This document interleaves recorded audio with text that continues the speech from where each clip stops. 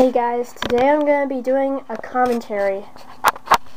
Now, I don't usually do commentaries, but to, I'm just going to use some I'm just going to do something different for my videos. I'm going to be commentating on Ben the Looney.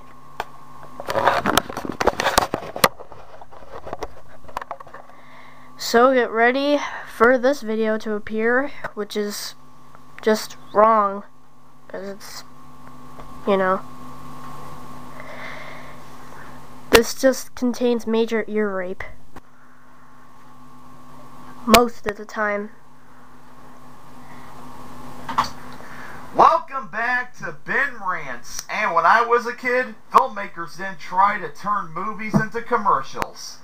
Most of the time. Welcome back to Looney Tunes Month. Since I have a schedule to stick with, and I can't do the same video two weeks in a row, so it's time for me to do a rant. I thought to myself, how am I going to find something Looney Tunes related to rant on?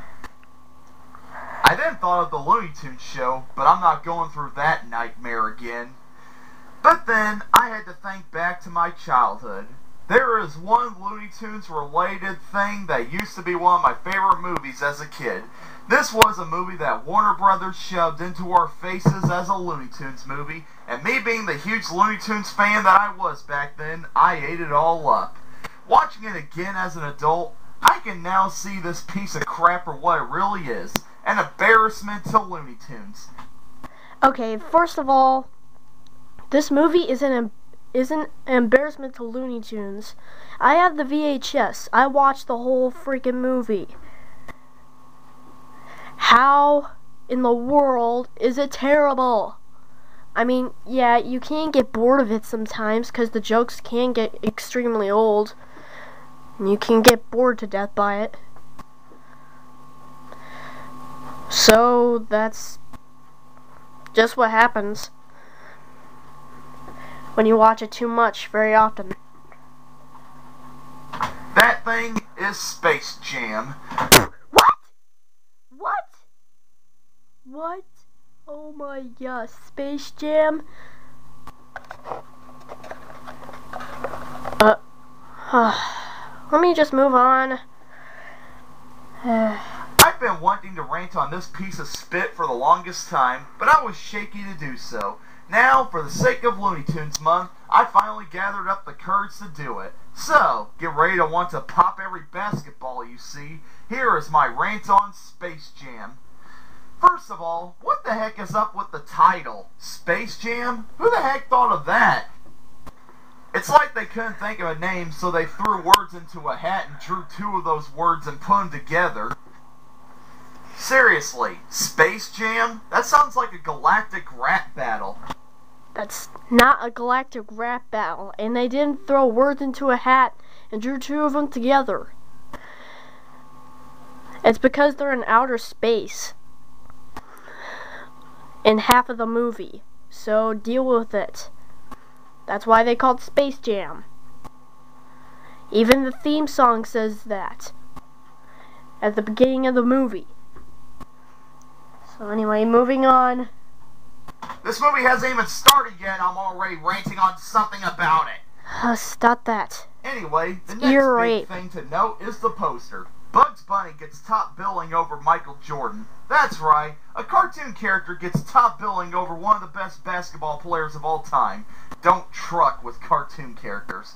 And Okay, first of all, Bugs Bunny isn't the king of cartoons. They put Michael Jordan on the top because he got top billing because he he's throughout he's in throughout the whole movie. He's Bugs Bunny isn't in much of it. Anyway, the movie starts out we see Ivan Reitman produce this. That's right, the director of Ghostbusters is producing a movie where Bugs Bunny teams up with Michael Jordan. I don't know what he was on either, folks, but he is Canadian and there is a certain thing that's legal in Canada. So, this movie starts off with little Michael Jordan shooting hoops in his backyard. Um, this is a Looney Tunes movie, right? Yes, it's half Looney Tunes. You can't just jump the gun and go straight to the Looney Tunes. That's that's just stupid. You have to start with the main character. Michael Jordan. He's the main character in this movie. The the Looney Tunes Okay, okay, okay. So so then, uh, I don't know what to say, so let's just move on. Soon, the credits start, and we see a montage of highlights of Michael Jordan's career. Still waiting for the Looney Tunes to appear. During the credits, I noticed something weird. This movie has four writers. Huh? What? Huh? What?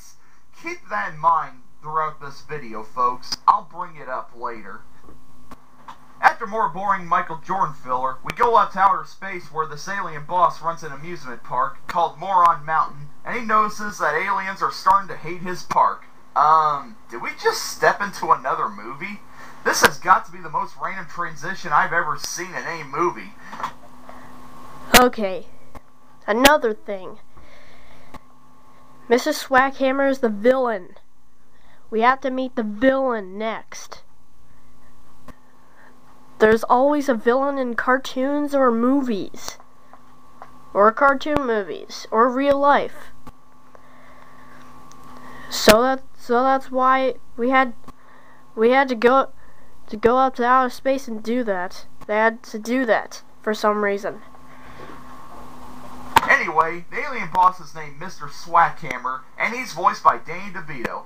I'm glad to say he redeemed himself a year later by being in Hercules. Anyway, Mr. Swackhammer wants something new and fresh to bring to his park, so he settles on the Looney Tunes. Really? If that's how they're going to bring in the Looney Tunes, then we're not in good shape. So he sends his alien henchmen, orange one, green one, purple one, blue one, and pink one to Earth to capture the tunes. We enter another movie again as Michael Jordan is playing baseball now. Wow, I kept forgetting Michael Jordan played baseball, so I'm glad this movie is kind enough to remind me of that. Even though I kept forgetting it for a reason. Anyway, our next character to appear is... Hello, Newman. Sheesh, who did he lose a bet with to have to be in this movie? Okay, I agree with him. How can Newman be in this movie? This is just weird. He's supposed to be in Seinfeld, not. Well. Whatever. Don't take that Seinfeld curse lightly, people. Anyway, Newman's brought into, you know, it's really not made clear in this film, so you can madlib it. Newman is brought into Verb Michael Jordan. Help? Yeah, right. Like he could save Michael Jordan from his baseball career. Teach? This is the same guy who went all out in a game of risk with his best friend Kramer. Torture. There we go. That's perfect. Anyway, while Michael Jordan is sucking at baseball and Newman is sadly not being funny, the alien ship buries itself underground to look for the Looney Tunes. Hey, guys, you might want to look in Hollywood. I don't think the Tunes live at the center of the earth. What do you know? They do. Huh. What? Do they share an acre of hell with Satan? Anyway, 10 minutes in, we finally see Elmer Fudd chasing Bugs Bunny, whose voice is off. That's only because Mel Blanc died. Just because. That's because Mel Blanc died for years. That's why his voice was off, you dummy. The aliens then land their ship on Elmer's head. I'm crying inside. That was a great slapstick joke, but it wasn't funny. It wasn't funny. Okay, what? A joke? That wasn't a joke. How the alien ship hit Elmer Fudd in the head. That wasn't a joke. It, it's just hurting somebody. It's not funny. Anyway, the Bland aliens are looking for Bugs, which is weird because if they're able to watch Looney Tunes in outer space, then how the heck do they not know who he is? Anyway, Bugs tricks them and they pull out ray guns out on him and ask him to gather up all his Toon pals. Before we can see more unfunny cartoon gags, we cut back to unfunny Michael Jordan and Newman. After Newman drops Michael Jordan off at his house, MJ is attacked by his dog in a very unfunny way, and we're introduced to MJ's family, his fictional family. Look, if one of my family members was famous and was going to be in a movie where they play basketball with the Looney Tunes, I wouldn't want to be in it either. Anyway, MJ walks in on his kids watching a sports report on MJ's crappy baseball skills. Is it sad to say that this is the funniest part of the movie? No, scratch that. This is the only funny part in the movie. NJ gets tired of taking other people's opinions, so he changes the channel to a Roadrunner cartoon. Thank God! Actual Looney Toony goodness. Before I can end on MJ's crappy baseball skills, is it sad to say that this is the funniest part of the movie? No, scratch that. This is the only funny part in the movie. No, there's not a lot of funny parts in the movie. Not a lot. MJ gets tired of taking other people's opinions, so he changes the channel to a Roadrunner cartoon. Thank God! Actual Looney Toony goodness. Before I can enjoy actual humor, Porky Pig runs in and tells Wiley and Roadrunner that the Toons have an emergency meeting, and the cartoon just stops. So, according to Space Jam, the Looney Tunes actually film the same cartoon over and over again. They don't do repeats. It's live. That's the dumbest thing I've ever heard. Okay, stop it. That is loud. It hurts people's ears because of you. How the heck is the network going to fill in the rest of that time slot? Well, the Looney Tunes have an emergency cartoon meeting, so I'm going to have to fill this spot. I wasn't prepared because I had no idea cartoon characters don't believe in reruns, so I'll just ad lib. Um, the weather is good, if it's good where you live. Um, paper spelled backwards is rebar, and I wasn't. I think I've said too much. Anyway, the Toons have their emergency meeting where the aliens threaten them. Of course, they then pull out their ray guns and now they're afraid of them. Oh no, ray guns! It's not like they can kill us because we're cartoon characters, but still, they're ray guns! Bugs then fools them into giving the Toons a chance to defend themselves. These aliens are easier to fool than Jessica Simpson. Jessica Simpson from Simpsons? Uh, okay. Never mind. So, the Toons plan something to retaliate against the aliens. Oh, the possibilities. They could blow them up with dynamite, whack them over the heads with mallets, and put them in cages with Burmese tigers, and watch as the tigers rip them to alien shreds. Or they could just challenge them to a basketball game. Again, this is a Looney Tunes movie, right? Yes! Stop repeating yourself. Anyway, the aliens are at least smart enough to know that the Looney Tunes would beat them in a basketball game, so they head to New York during a game between the Suns and the Knicks, dressed up as the main character in a Jethro Tull song, and they sit next to Dan Castellaneta and Patricia Heaton. I guess they... maybe they... they could have... I got nothing. These are the most random cameos ever, and this is coming from someone who likes the Rocky and Bullwinkle movie.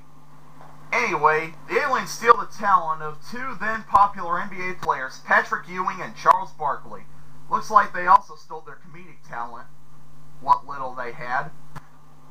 We cut back to the Looney Tunes still not being funny, as aliens want to turn to practice on the Looney Tunes conveniently placed basketball court. I don't know why they would have one either, folks. However, it's the Blaine aliens' turn to practice. After the Toons mock them, the aliens pull out their ball full of talent and it turns them into monsters. Or, as the movie calls them, monstars. Ha ha ha, that's stupid. Yeah, that is stupid. Anyway, Bugs realizes that now they're the ones that are going to get their hindies kicked, so they realize they need help. Darn, if only they made those aliens run away with cartoony gags when they had the chance. Anyway, we cut back to MJ as he's playing golf with two other pointless cameos, Bill Murray and NBA Hall of Famer Larry Bird. It's like Warner Brothers knew this movie was going to make money, so they shoved as much money into cameos as possible. Anyway, this starts a running gag throughout the movie where Bill Murray wants to be an NBA player. Bill, just stick to catching ghosts and getting rid of gophers. You'll be more successful doing the Anyway, MJ gets a hole-in-one thanks to Bugs, and he is sucked down into the Looney Tunes land.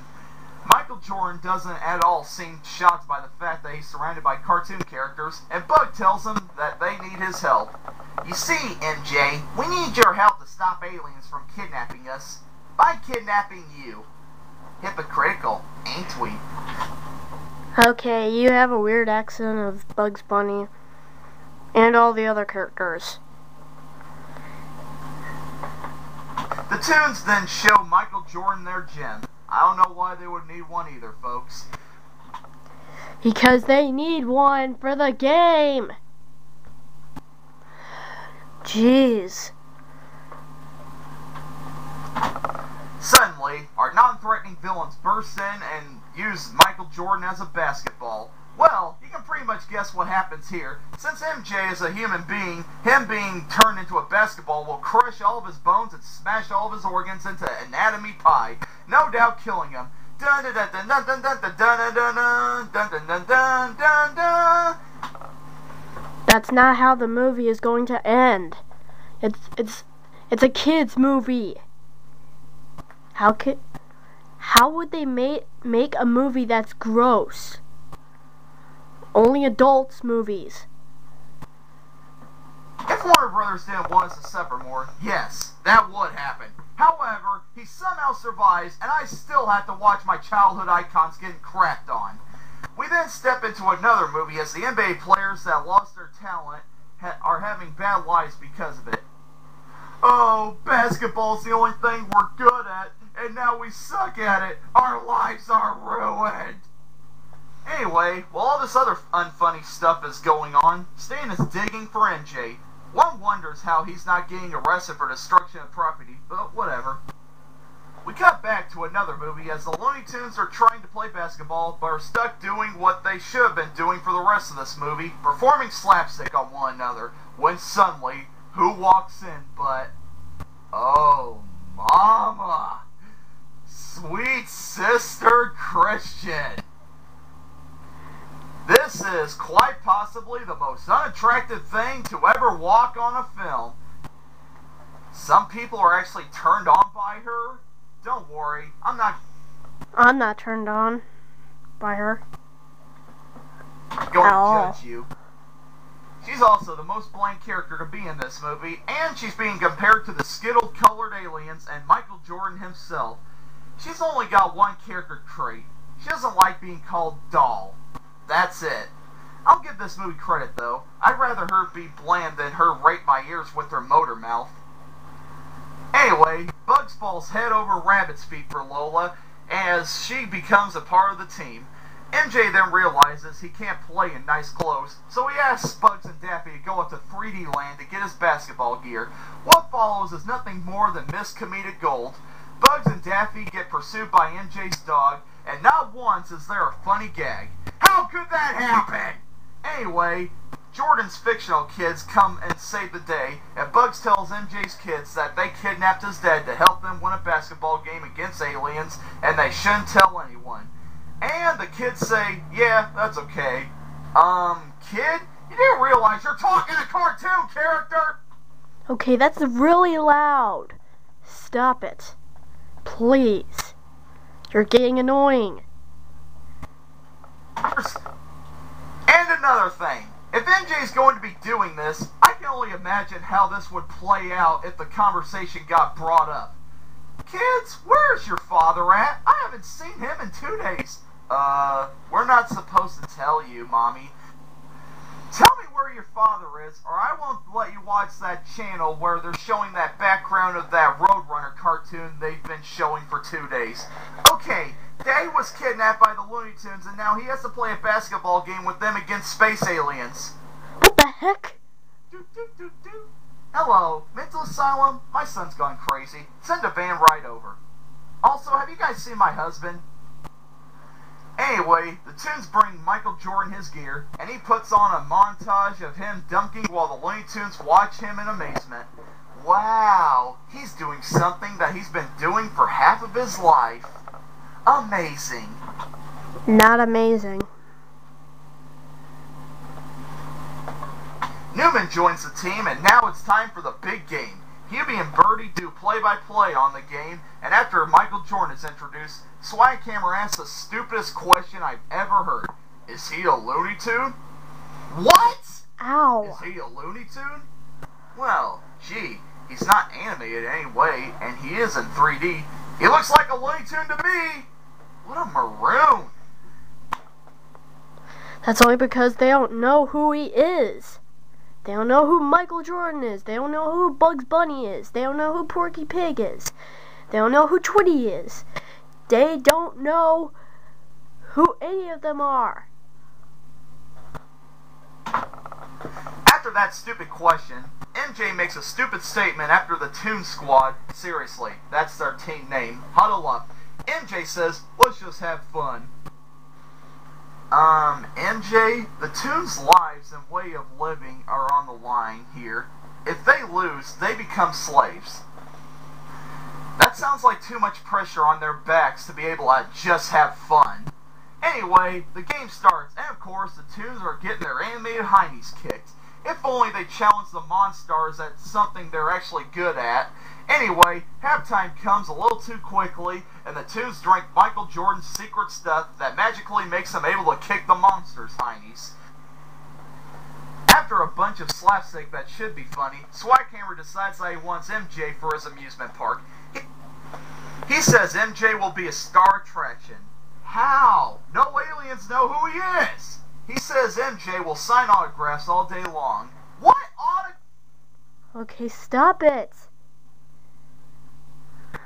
I'm gonna have to start turning down my volume because I don't, because I don't want to hear your loud, freaking voice.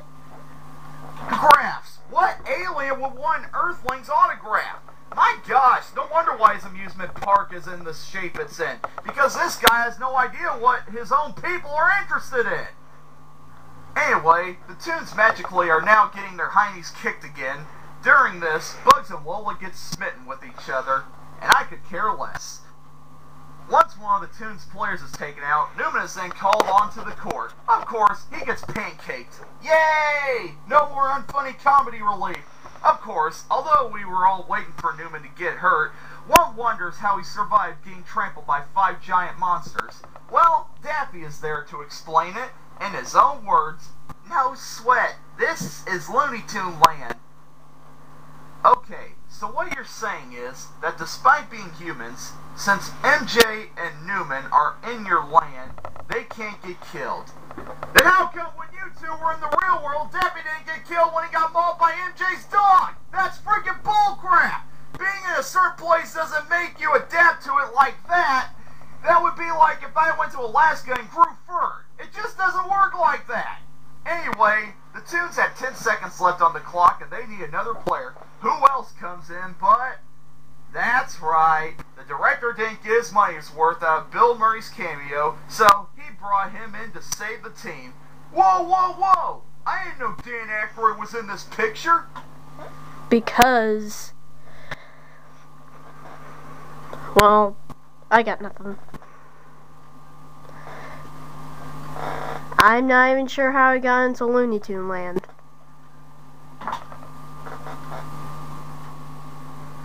They look similar to me. If they don't to you, then get your eyes checked, people.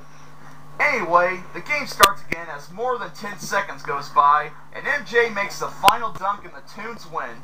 Hooray! The Monstars send their boss to the moon because they now realize they're bigger than him, and they put the talent of the NBA players back in the ball, and MJ realizes he has a baseball game to go to. So, he leaves the pale stereotypes of the Looney Tunes, and we cut to a baseball arena where the crowd is getting restless. They paid to see MJ suck at baseball, and they're going to get their money's worth, come hail or high water. Yeah, they're not going to get their money's worth just to see Michael Jordan suck at baseball skills. Eventually, MJ shows up in a spaceship and the crowd goes wild. Yeah! Hey Fred, how come Michael Jordan's coming out of a spaceship? Shut up and cheer for him! After MJ plays a baseball game that thankfully we didn't have to sit through, he goes to his basketball friends and they get their talent back. Hooray! Anyway, MJ decides that he really does suck at baseball, so he goes back to the Chicago Bulls and the movie ends with a picture of Michael Jordan dunking. You know, if I was a casual viewer and all I saw this movie was the beginning and the ending of this movie, I would think this is a documentary on Michael Jordan. And I have a good reason to think that! So, there's the plot of Space Jam. The plot is stupid, the Looney Tunes personalities are raped, and Michael Jordan and his friends are terrible actors. And this movie is the worst combo of two things since ever! Not ever. It was great. It was pretty great. Just pretty great. I'm saying pretty great because it's just, well,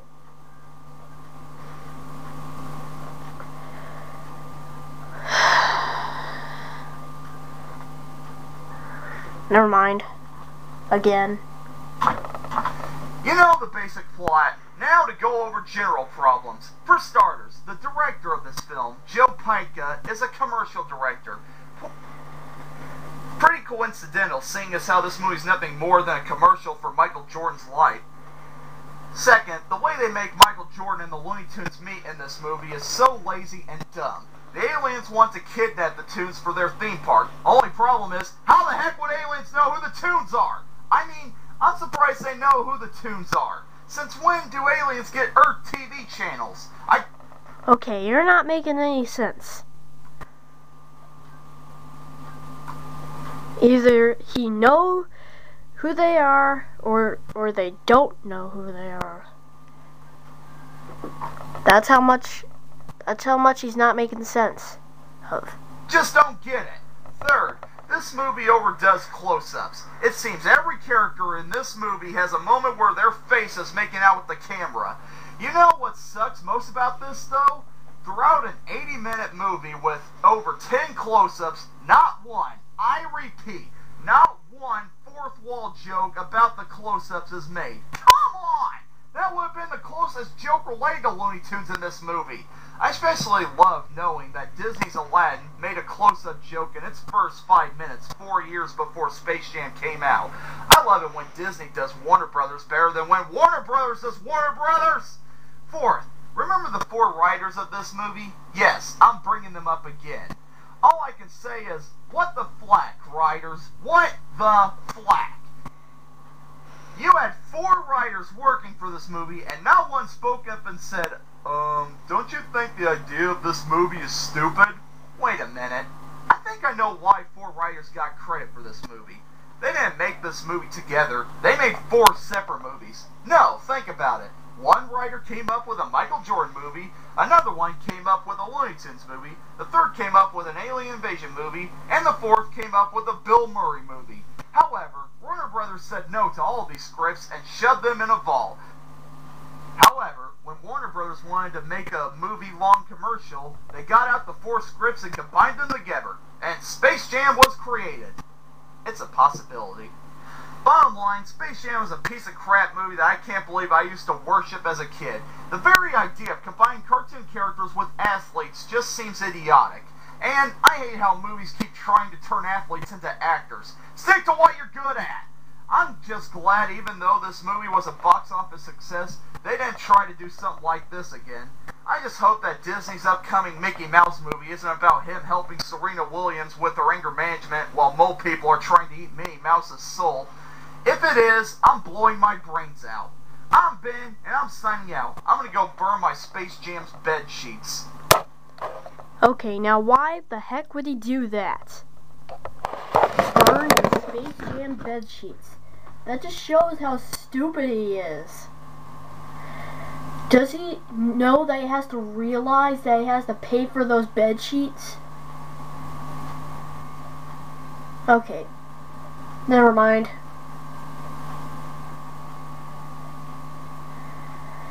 See you guys. JS501 is out.